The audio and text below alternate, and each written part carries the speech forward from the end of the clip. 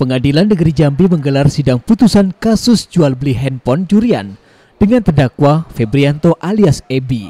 Dalam amar putusannya menyatakan, terdakwa Febrianto alias Ebi telah terbukti secara sah dan meyakinkan bersalah melakukan tindak pidana penadahan sebagaimana diatur dan diancam pidana dalam pasal 480 kedua KUHP serta menjatuhkan pidana kepada terdakwa tersebut.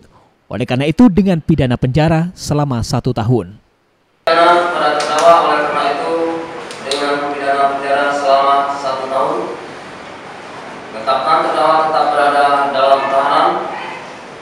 Menetapkan masa penahanan yang telah dijalani oleh terdakwa dikurangkan seluruhnya dari pidana yang dijatuhkan. Memerintahkan barang bukti berupa satu unit handphone merek Oppo A3 Atas vonis majelis hakim, terdakwa Febrianto menerimanya. Dirinya mengaku tidak mengetahui bahwa barang tersebut curian dan menyesali perbuatannya. Majelis hakim memberikan waktu tujuh hari kepada jaksa penuntut umum maupun terdakwa jika ingin mengajukan banding.